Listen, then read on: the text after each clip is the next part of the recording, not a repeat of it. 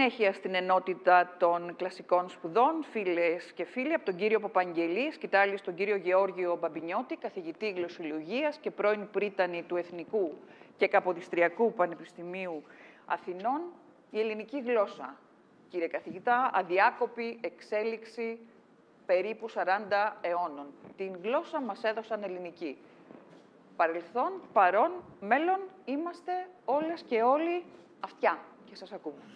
Κυρία Φλέσσα, συχνά έχουμε μιλήσει για τη γλώσσα και πάντοτε επιμένω ξεκινώντας να μιλάω για αυτό το θέμα, ιδίως εφόσον θέλουμε να αναφερθούμε στο παρελθόν, στο παρόν και στο μέλλον, να λέω ότι μιλάμε, και αυτό δεν πρέπει να το ξεχανάμε, για μια ενιαία ελληνική γλώσσα.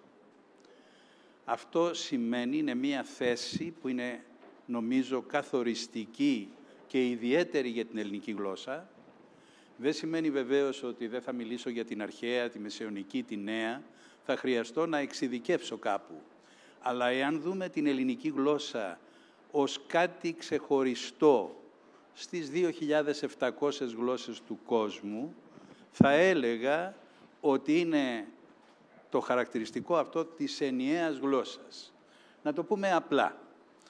Πηγαίνουμε στην Οδύσσια. Πολλών ανθρώπων είδεν άστεα και νόων έγνο, πολλών, πολλά δόγεν πόντο πάθεν άλγια όν θυμών. Πολλών δε ανθρώπων είδεν άστεα και νόων έγνο. Υπάρχει καμιά λέξη που δεν υπάρχει σήμερα, όχι η ίδια, μπορεί να, η μορφή της κάπου να έχει αλλάξει, μπορεί η σημασία της να έχει αλλάξει, αλλά η λέξη είναι εκεί. Πολλά δε πολλά δόγεν πόντο, πάθεν, άλγεα, τα άλγη, έτσι, ον κατά θυμών, το κατά, το θυμών. Αυτό είναι η ελληνική γλώσσα.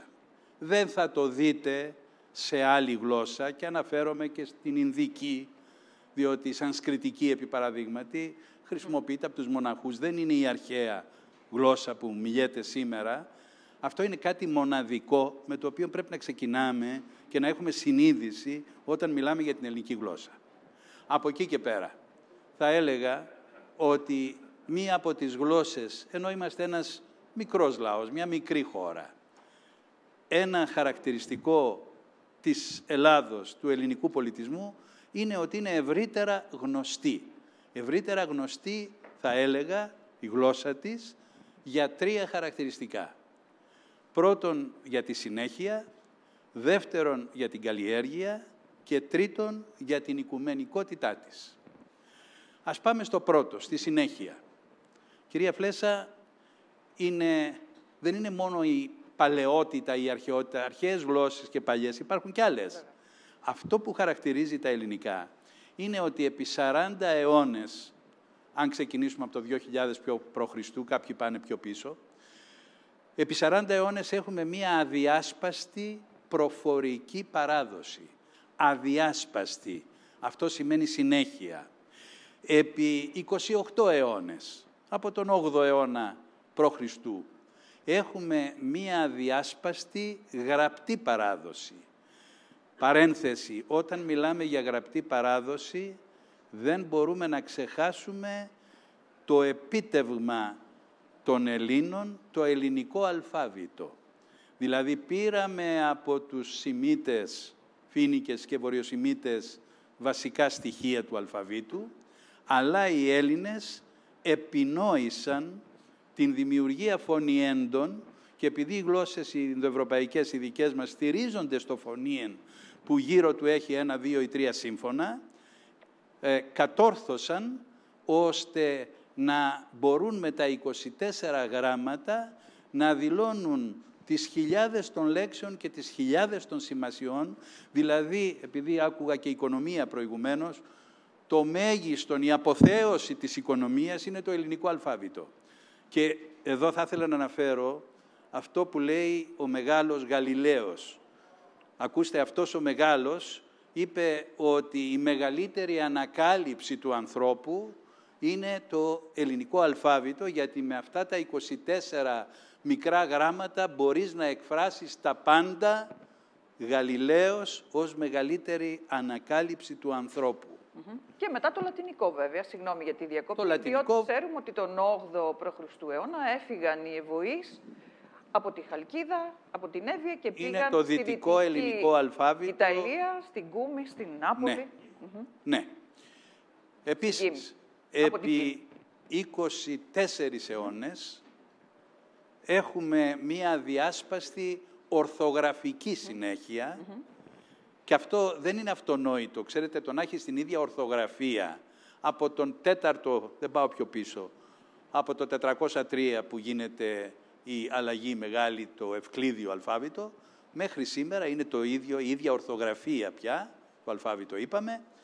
Αυτό λοιπόν είναι επίσης κάτι ξεχωριστό. Αυτή τη συνέχεια αιώνων, αιώνων, αιώνων όμως, είναι κάτι που δεν πρέπει να το ξεχνάμε και είναι το χαρακτηριστικό, ένα από τα χαρακτηριστικά της ελληνικής γλώσσας. Πάμε στο κάτι ακόμα. Όταν μιλάμε για τα ελληνικά έχουμε επιβιώσεις. Ουρανός, γη, άνδρας, γυναίκα, β- β- ό,τι πείτε. Αυτά Ήλιος. είναι ε, από τον Όμηρο ή Ο ήλιος, κάποιους ο νεότερους Άρης. χρόνους μέχρι σήμερα. Αυτά είναι επιβιώσεις. Ναύς, όλα αυτά. Ε, βέβαια. Από εκεί και πέρα έχουμε τις αναβιώσεις. Όταν δηλαδή εμείς χρη- χρειαστήκαμε να πούμε το civilisation, πήραμε τη λέξη πολιτισμός ο Κοραής, που, ε, που δήλωνε την δημόσια διοίκηση και τους καλούς τρόπους και δήλωσε τον πολιτισμό. Όταν α, ήθελε να πει από τα γαλλικά το αγκραβέ, το χειροτερεύω, το επιβαρύνω, πήρε το ρήμα επιβαρύνω που σήμαινε πιέζω τον εχθρό, του έδωσε μια άλλη σημασία, ένα άλλο περιεχόμενο και έτσι έχουμε το επιβαρύνω και την επιβάρυνση και όλα αυτά. Να προσθέσουμε στις επιβιώσεις και στις αναβιώσεις ένα νεολογισμό θα κάνω, τις μεταβιώσεις, δηλαδή αυτό που λέμε ελληνογενείς λέξεις. Οι- Είναι χιλιάδες οι λέξεις που πλάστηκαν από τους ξένους και πέρασαν στην ελληνική γλώσσα. Λέμε αλλεργία, λέμε ουτοπία, λέμε θερμόμετρο, Νοσταλγία. λέμε ηρωίνη, λέμε νοσταλγία. Τι να πω, το λεξικό μου τις έχω Βεβαίως, βέβαια περιλάβει όλες αυτές και κατά καιρούς συζητάμε και στην εκπομπή μας για αυτά τα θέματα. Άρα, επιβιώσεις, αναβιώσεις, μεταβιώσεις, αυτή η συνέχεια της γλώσσας. Και ερχόμαστε τώρα στο μείζον που έχει και άμεση σχέση με αυτό που συζητούσατε πριν, για τα κλασικά γράμματα, για τον ανθρωπισμό, για την παράδοση αυτή.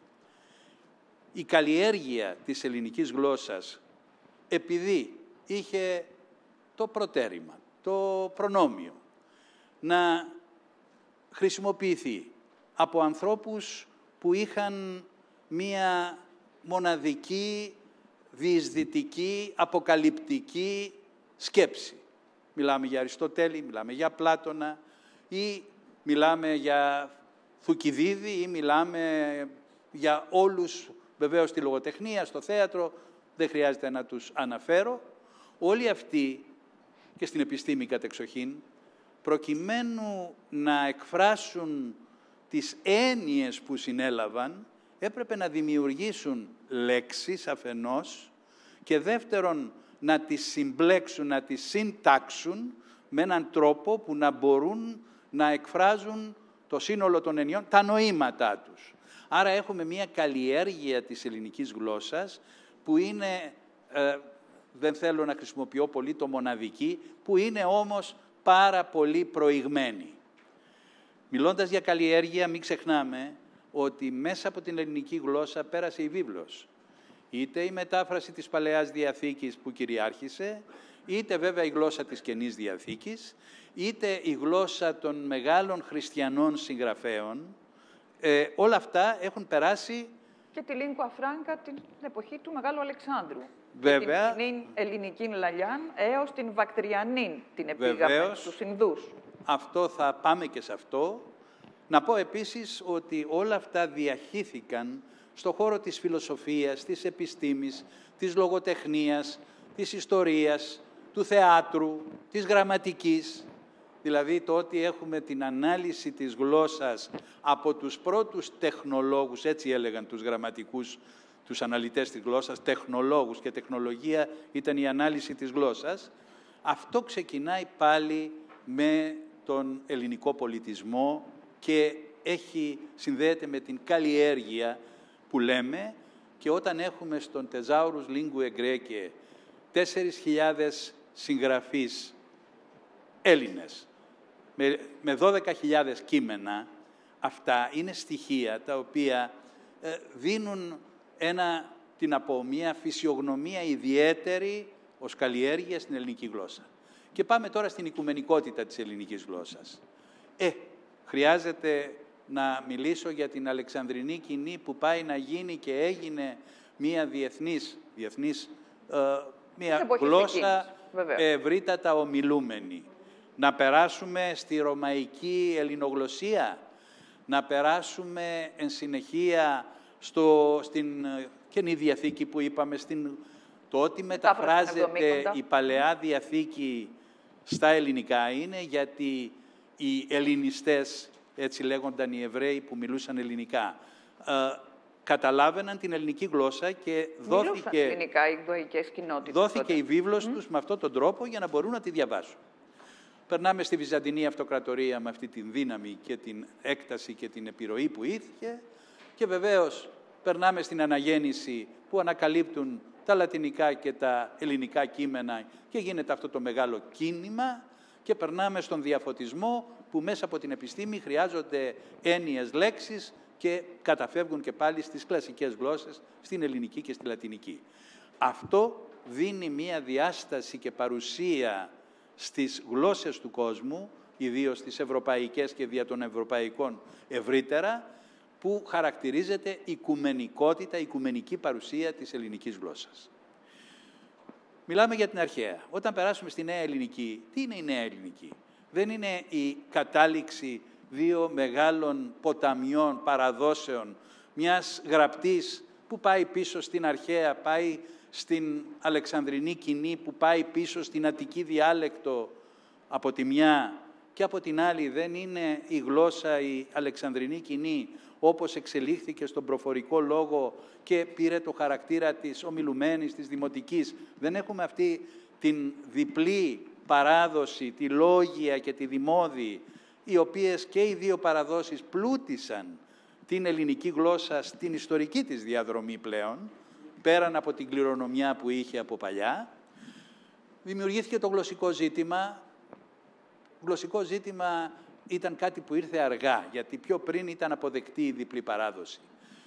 Και έχω υποστηρίξει πάντοτε ότι από το 76 και λοιπά, από το 74, αυτό που υπάρχει πια πρέπει να το δεχτούμε, δεν υπάρχει γλωσσικό ζήτημα, αυτά έχουν λυθεί ευτυχώς. Υπάρχει ένα θέμα, πρόβλημα το λέω εγώ, ποιότητας γλώσσας. Τι ελληνικά μιλούμε και τι ελληνικά γράφουμε. Αυτό είναι ένα ανοιχτό θέμα, δεν είναι μόνο ελληνικό, είναι ένα ευρύτερο θέμα, αλλά εμάς μας νοιάζει για αυτό τον τόπο. Επομένως, ένα πρόβλημα ποιότητας στην χρήση των ελληνικών και στη γνώση, που προϋποθέτει τη χρήση, υπάρχει. Και πώς λύνεται αυτό, από πού περνάει αυτό, περνάει από την εκπαίδευση, περνάει από την κοινωνία, περνάει από τα μέσα ενημέρωσης, όλα αυτά τα πράγματα. Κυρία Πλέσα, θα ήθελα Μιλάω πάντοτε για την καλλιέργεια μιας γλωσσικής συνείδησης. Το χρειαζόμαστε αυτό. Να καλλιεργήσουμε τη γλωσσική μας συνείδηση. Και αναφέρομαι συνήθως στις γλωσσικές εξισώσεις. Πώς να μιλάς για τη γλώσσα εάν δεν πιστέψεις, δεν καταλάβεις και δεν προβάλλεις ότι η γλώσσα είναι η σκέψη σου. Δηλαδή η γλώσσα υπηρετεί τη σκέψη, τη νόησή μας. Δεν υπάρχει καθεαυτήν. Υπάρχει για να δηλώσει, να εκφράσει την σκέψη, την νόησή μας, η οποία χρησιμοποιεί τη γλώσσα και η γλώσσα πάλι επηρεάζεται από τη σκέψη μας. Υπάρχει μία αμφίδρομη, επίδραση. Βέβαια. Μία άλλη εξίσωση είναι ότι η γλώσσα είναι αξία. Αν δεν πιστέψεις ότι η γλώσσα είναι αξία και τη δεις εργαλειακά, ότι είναι απλώς ένα μέσο συνεννόησης, έχασες το θέμα της οντότητας και της ουσίας της γλώσσας. Τι είναι η γλώσσα σου; Η γλώσσα σου είναι ο πολιτισμός σου, είναι η ιστορία σου, είναι η σκέψη σου, είναι η ταυτότητά σου. Είναι όλα αυτά τα πράγματα. Αν τη δεις έτσι λοιπόν ως αξία, τότε έχει μεγάλη σημασία να την υπηρετήσεις, να την καλλιεργήσεις, να, να α, αφιερώσεις χρόνο και κόπο. γυμναστική όπως λέτε. Έτσι. Λοιπόν, Κάτι ακόμη. Γλώσσα δεν είναι οτιδήποτε, γλώσσα πρέπει να είναι ποιότητα. Επιμένουμε πάρα πολύ και κάτι ακόμη. Γλώσσα ίσον εθνική αξιοπρέπεια. Αυτή η γλωσσολαγνία, η ξενομανία κλπ. που δεν είναι μόνο στη γλώσσα, είναι ευρύτερα στον πολιτισμό μας. Τα παιδιά μας ακούνε μόνο ξενόγλωσσα τραγούδια πλέον, δυστυχώς. Ε, το έχετε πει, με συγχωρείτε που σας διακόπτω, πηγαίνουμε στο σχολείο και αντί να ρωτούμε οι γονείς πώς πάει το παιδί στα ελληνικά, ρωτάμε πώς πάει στα αγγλικά. Πώς πάει στα αγγλικά του. Τα, ελληνικά είναι, δεν είναι ότι θεωρούμε ότι τα ξέρει τα ελληνικά, είναι ότι δεν μας ενδιαφέρει πόσο τα ξέρει. Και θα τελειώσω με ένα συμπέρασμα.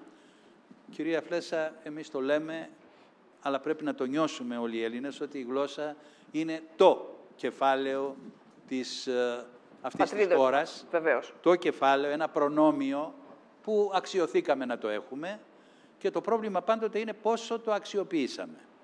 Και η γλωσσική αυτή υπερηφάνεια που πρέπει να έχουμε, δεν ξέρω, αλαζονία δεν πρέπει να έχουμε βέβαια, αλλά μια περηφάνεια πρέπει να την έχουμε λόγω των χαρακτηριστικών που ανέφερα και άλλων που δεν ανέφερα.